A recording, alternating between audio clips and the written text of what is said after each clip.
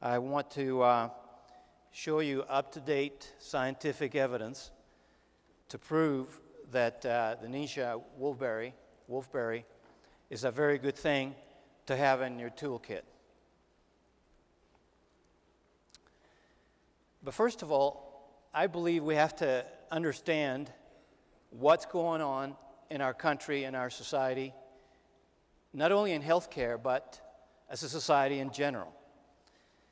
We live right now in very perilous times, as I'm sure you know, where decisions are being made mostly because of financial issues. And I believe that this is the main reason why our healthcare system is in chaos. And I don't think anybody's going to disagree with that, not since this, this book came out. You see, it came out in 2001, the result of a committee of doctors throughout the United States commissioned by the National Academy of Science. This was in response to the shocking study in 1998 that showed that 100,000 people die each year in the United States as a result of prescription drugs. And I'm sure you remember that. We were shocked, and so was the National Academy of Science, the Institute of Medicine, and the National Institute of Health. The result of the study looking at why this is going on was published in the form of a book, Crossing the Quality Chasm A New Healthcare System for the 21st Century. So it is no longer an opinion, but a fact that we have a very dysfunctional healthcare system. In fact, it should be better to say we have a disease care system.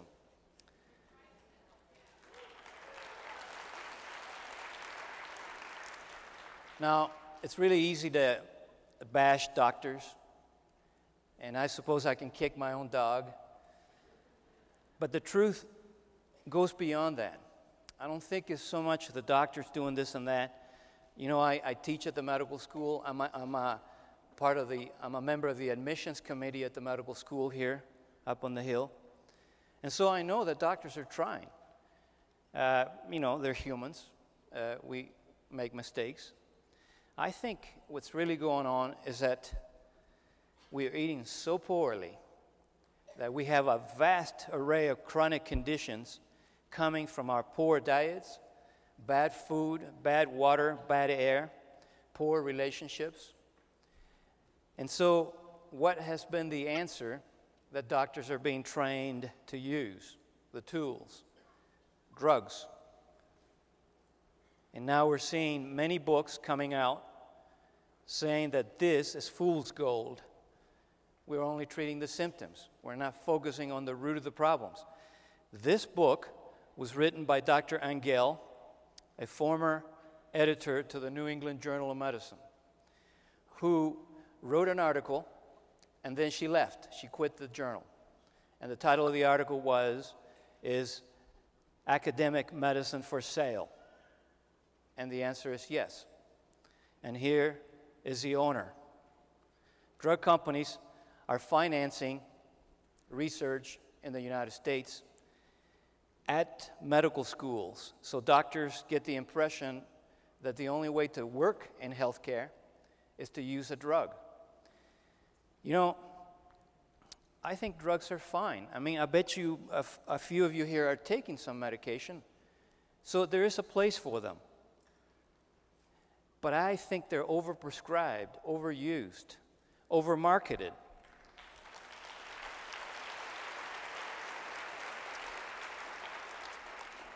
I would say that of all the drugs prescribed, we, legi- we have a legitimate use of only 20% of them. The other 80% you could do without if you just change your diet. And that's what I do in my clinic all day long get people off medication by changing their diets.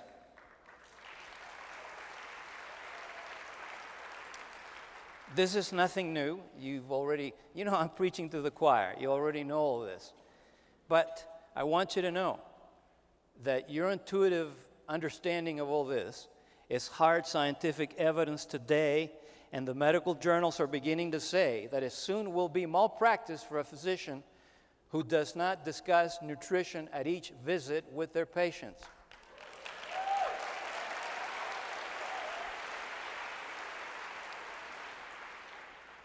Hippocrates, the founder of medicine, food is the best medicine. Maimonides in the 12th century Spain, food is the best medicine. The founder of modern medicine, William Osler, food is the best medicine. And if that's too testosterone for you, well, women too. Hildegard of Bingen, also a saint, a Catholic saint in Middle Age Europe, said that food is the best medicine. What a noble profession to be a doctor. I'm proud to be a physician. And so rewarding to see the medical profession going back to the roots of healthcare, which is nutrition.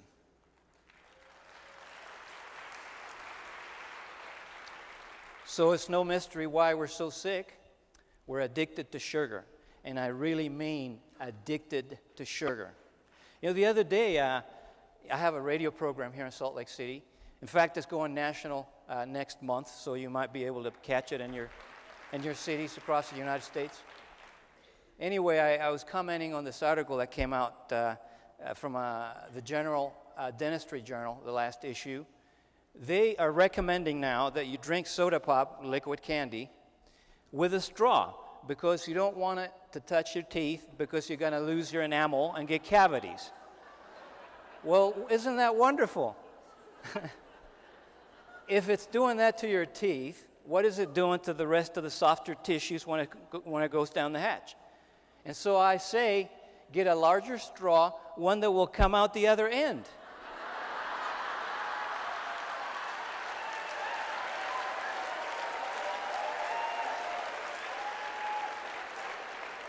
the addiction to soda pop is so terrible that people think themselves holy, I guess, because they don't drink beer, but they drink pop.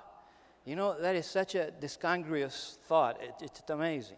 You know, what is alcohol after all? Fermented sugar.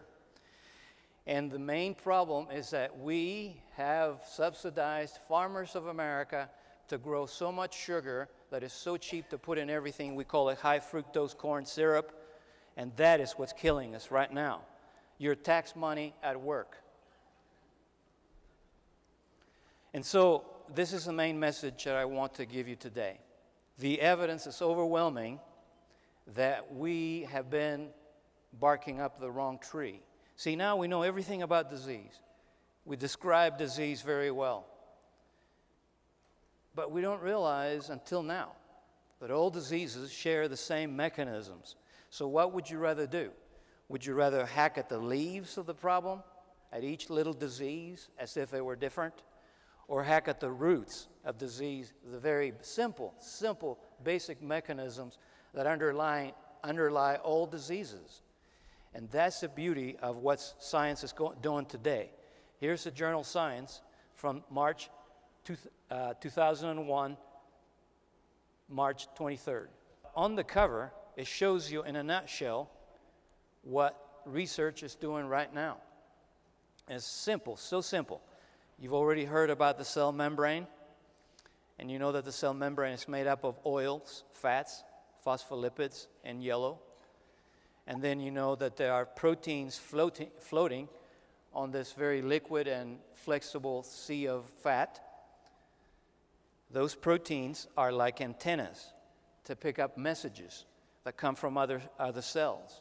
And you know the messengers that come into a cell, you know, they have fancy names, but really they're just messages of cell communication.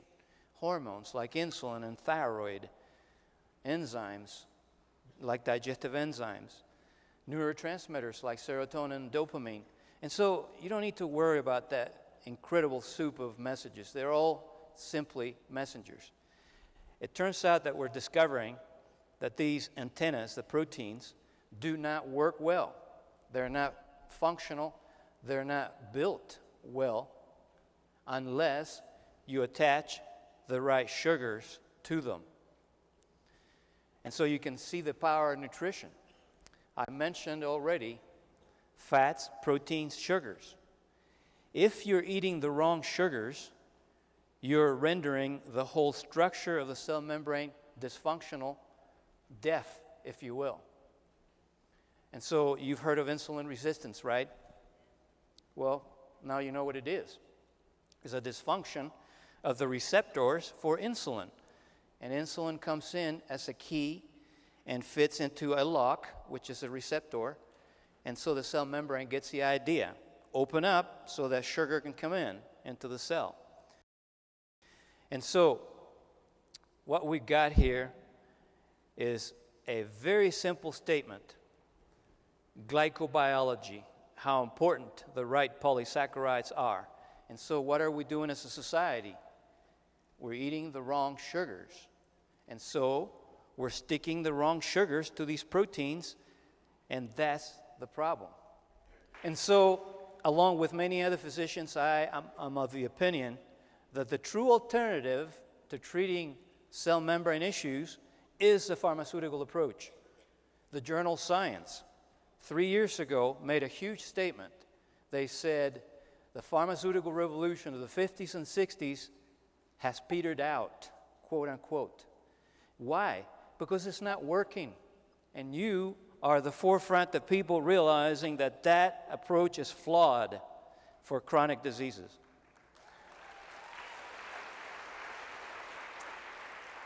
So you can see here how the dawn of a new era of medical thinking is upon us. I'm only one of many. There'll be many more following. And I hope that you are able to work in an integrative approach because I think the patient is the one to benefit if we can combine forces. I'm totally open and willing to do it. That's why I'm here. I believe in the message you have. I believe in the message that Young Living has. And look at this from a leading medical journal Nutrition is the cornerstone of preventive medicine, the handmaiden of curative medicine, and the responsibility of every physician at each visit these are heady days for nutritional scientists as newer understanding of food and health promise to bring nutrition to the forefront of clinical medicine. That is exactly what I do in my practice. And I tell you, it is so rewarding to see people finally get better and get off all the far, uh, drugs that they've been prescribed. Doctors must become nutritionally educated if they are to maintain their patients' confidence and stay abreast of evolving modern medicine. You know, we're evolving, all right. This is the evolution of man, isn't it? There's a new science out there called nutrigenomics. It's so exciting to see proof that oils, herbs, micronutrients change your genetic tendencies to where you can avoid terrible destinies if you don't change the way you eat. So, what's the problem with your genes? You're not locked into them. You might be too tight in them, but you can overcome that. And so, Cool Hand Luke said it best. You know, does anybody remember Cool Hand Luke, Paul Newman? Only the women say yes, yeah. well, what we have here is a failure to communicate. You see, if you mess up the cell membrane, you're not going to allow for the messenger to come in and hook up to the cell membrane. And so you end up making more insulin to get the job done. And so all that extra insulin and extra sugar that ends up uh, floating in the bloodstream because it wasn't able to get in the cell goes everywhere. And I can give you example after example of what happens when that starts to occur. And guess what? About 40% of you are insulin resistant. I can tell. All I have to do is look at your midriff. All right? If a man has more than 40 inches, he's insulin resistant. If a woman has more than 35 inches, she's insulin resistant. You know, I still find people that are afraid of fruits. They say, Oh, I'm diabetic, I can't eat fruit. All the while, they're stuffing Twinkies down their mouth and muffins and, and a lot of pasta and a lot of bread. Please. Look at the, this remarkable article came out this year, March 3rd, showing you exactly what's going on the cell membrane, the sea of fat, the proteins, the receptors, the proteins, and look at the fruit raining upon the cell membrane. The sugar and fruits is perfect for the cell membranes. Do not be afraid of fruits when you're diabetic. And so I still get people saying, hey, should I drink fruit juice if I'm diabetic? Well, of course you shouldn't if all you're drinking is Snapples and ocean spray, which is nothing but garbage full of high fructose corn syrup. And so you know where I'm going. The Ningxia wolf, wolfberry has the right polysaccharides, the right sugars. And so the cell membrane will be a lot healthier. And of course, food in general is giving you all the ingredients that you need to fortify uh, your cell membrane with. That is why I believe nutrition is so simple. And so when we talk about a whole food, and that's what I prefer, you know, I don't supplement anybody in my clinic. I don't sell anything in my clinic either. I believe that if you start supplementing, you are enabling people to continue their bad nutritional habits. So I do not supplement at all until people show me that they've been able to lick their sugar addiction. And so that's why I prefer whole foods like the Ningxia wolf, wolfberry. You know where the Ningxia wolfberry comes from? You know about the preparation of the Ningxia wolfberry? You know, one thing is to have the product, another one is to get it on the table without jeopardizing uh, the, the very fine micronutrients in it. And so the, market, the, the processing has to be key. Well, the Ningxia wolfberry, they throw in other fruits too. You know, so you know the ingredients already, right? Polysaccharides, polyphenols, zeaxanthins, betaine, beta carotene, vitamin C, calcium, fiber. Incidentally, the, the Ningxia wolfberry has a whole lot of those ingredients a lot higher than any other nutrient. And so when you start adding other fruits to market this uh, product, uh, you can see that it can pack a pretty big punch. And so let me just recap. And I have to do it because it's so simple. I just, I just don't want you to miss the point because it's so simple. The Ningxia wolfberry and good nutrition will fix your cell membrane will correct the pH of your blood so that all the communication, cellular communication, can take place by correcting oxidative stress, giving you the energy that the mitochondria needs to open the gates of communication, correcting the toxicity at many levels, including de detoxification in the liver and intestines, and correcting the inflammation provi by providing the micronutrients that reduce inflammation. That is why the, the quintessential problem in our society today, insulin resistance, is striking at practically, and I mean all diseases.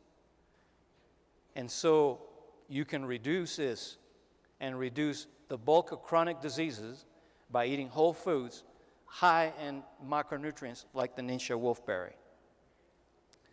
And so if you don't do that, then your approach is going to be pharmaceutical. And so I'd rather you went to whole food. And the evidence for whole food and the Ningxia wolfberry, and you can find it in the booklet, is overwhelming. And that is why, by working on the basic mechanisms of disease to heal the cell membrane, you will heal heart disease, lower cholesterol, heal insulin resistance, diabetes, obesity, lower cholesterol, hypertension, arthritis, the immune system is improved, less cancer, better brain function, and uh, counteracting the effects of the chronic degeneration of the brain that we have a 50% chance of having if we get to the age of 80 at this present pace. Uh, healing the intestines, which, I, which is where I believe most of our function is, etc., etc. And so, let me finish by telling you a story. Gandhi. He used to give uh, advice to people, you know, uh, two or three hours a day, and he'd sit under a tree, and people would line up and a long time in the sun. Finally, this mom with her child gets up to Gandhi after waiting all day long in the heat. Gandhi, please tell my kid to quit eating candy. And Gandhi says, Come back tomorrow. And the woman is puzzled, but hey, if Gandhi says, you do. So she lines up in the heat of the sun the next day. Finally, she gets to the top of the line again and, please, Gandhi, tell my kid to quit eating candy. Gandhi says, quit eating candy. And the woman says, why didn't you tell him that before? Well, before I was eating candy myself. so I want to look at you in the eye. And I want to challenge you. You want to eat whole food, you want to sell the Ningxia Wolfberry, you will have more power of conviction. You will sell more if you speak truthfully and you say, I quit refined sugars today.